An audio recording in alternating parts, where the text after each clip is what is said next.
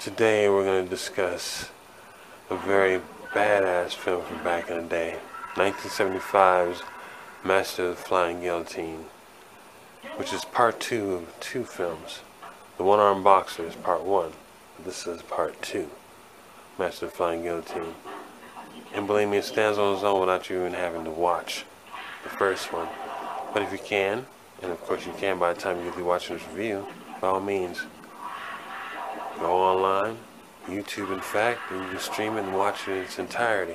But in the meantime, let's discuss Master of the Flying Guillotine, its pros, its cons, and its incredibly diverse plot of revenge, madness, and of course, plain old lies. Master of the Flying Guillotine was always a summer classic, as every summer like clockwork after 1975 it came on every year. But they never showed part one, at least not in California. They showed part two every year, consecutively for like eight years. They come every summer. So this is a film I know by heart. It's a favorite. And I think after you watch it, it might become one of your favorites too. So by all means, you should check it out. Which also begs our correction of things. Where else in cinema history can you find a story where you have your protagonist, a one-armed man, master of kung fu, against a blind man with, of all things, a guillotine? But all this is brought out by matters of revenge and a lot of convoluted lies spun from the first film carried over into the second, where the Shaolin monk forgery, aka the blind man, aka the guillotine, is out for the blood of the one-armed bandit. Well, one-armed boxer, but in his mind he's a bandit, because he considers everyone that's involved with the one-armed boxer is nothing but a Ming spy and a rebel and they must be destroyed. But the master of the guillotine, well, he just wants everybody dead gets in his way, whether they're guilty or not.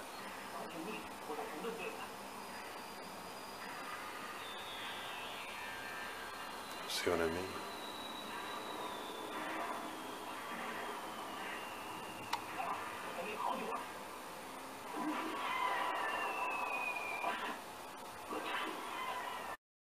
Like all our classic villains, the the the man with the plan has his henchmen, like the Thai boxer.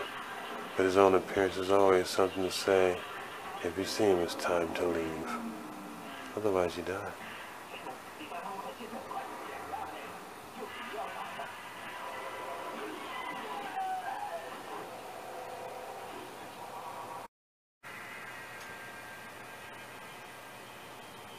Did I mention he has great hearing?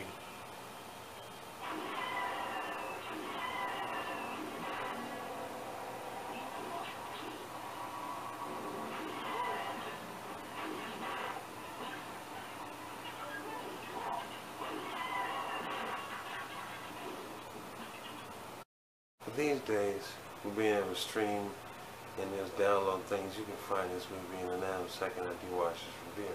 I think you should watch it. And in my case, well, definitely in your case, you'll find a copy that's in English.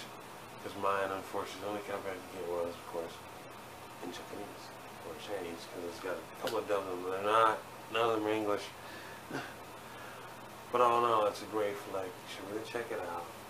It's different. It's what you call good old-fashioned high-tech karate movie from back in the day, going where all the impossible things that shouldn't happen are able to happen because, well, that's why it's called fantasy and fiction put together in the martial arts.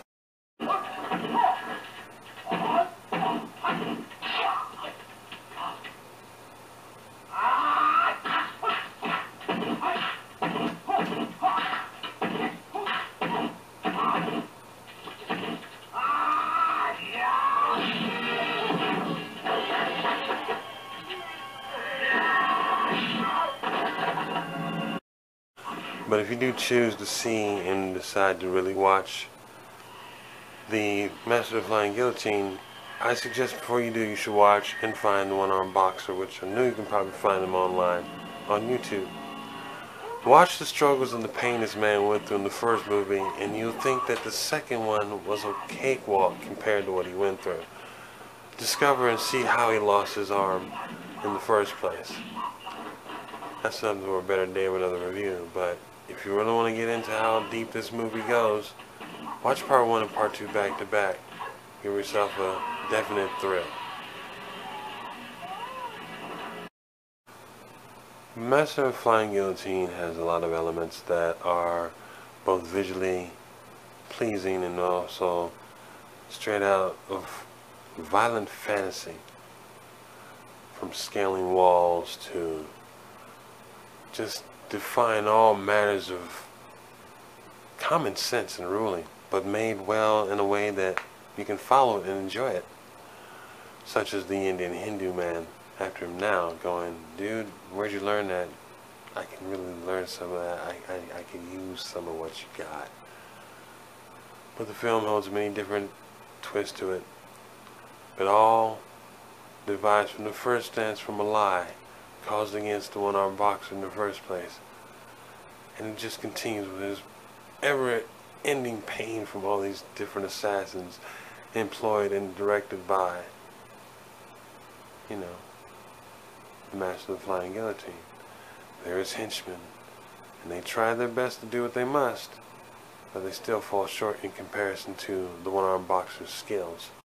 If you've got nothing better to do tonight, or tomorrow whenever you're viewing this, just, you know, after this review's over, pop it up online, check it out, enjoy it. It's a really good film. And even after all the decades that it's been around, it still holds own as a martial arts classic. Definitely a cult classic. If anybody has been around for my time, they know. This is a summertime joint. Master Flying Guillotine. Like I said, man, check it out and enjoy it. It's a pop thrill. It's definitely a buzz for your brain. Like I said, yo, I'm no film critic. I just like talking about really good movies in a way it's entertaining. If you wanted everything broken down, you can go up there and look at Wikipedia and pull that crap down and read it yourself, but they're doing the shortcut with this one. But you know, you should check this movie out for a lot of reasons.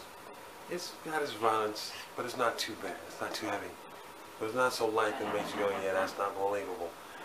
It's enjoyable now as it was, you know, even 40 years ago. It's a great piece of work.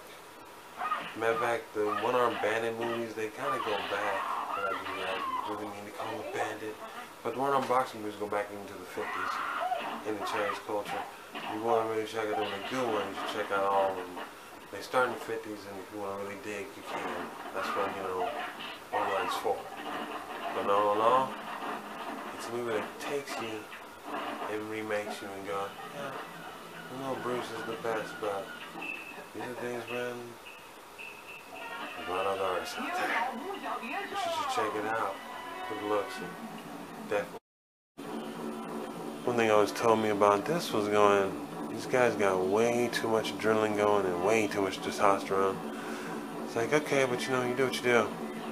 It's your neighborhood. I'm not about to come out there and mess with you. But this guy right here going, yeah, I'm not trying to deal with this. Just leave him alone. You know, let him go in his room and think about what he's done. Because it's going to be that kind of party. Brass tacks, brass hats. But in conclusion, you know, Master Flying Guillotine is a 70 joint that just won't stop giving, even after all this time. Came out in 75, was badass then, still badass now. Don't blame me, just go look it up. Find it on YouTube. Punch it up. Get yours in English, because I hadn't watched it as many times as I have. Even with the subtitles, I would be like a little upset about it. But I have watched it, I have in English. It's what it is. You guys got to be able to find it online now and get it in English, enjoy. It's been Giovanni, and well, you know, I'm out. Peace till next time. Love you all. And on my way out, a shout out to, you know, big friend, good friend Adam King. We miss you much out here up in CS. Big man Jake, Kat, and Kristen, Christopher. Hey, you know what time it is. Miss you all. Glad to see you the other day. But a shout out to all my local loyals and lovelies. And for my lovelies across the water, Diana, Ari, Philip, and Joseph, take care of yourselves. I'll be in touch. And Ari, Keep that fucking candle going for me, man. I'll see you next time around. In the meantime, y'all, peace. Stay straight. Be well. Be yourselves. Be beautiful. Be good. Be safe. Later.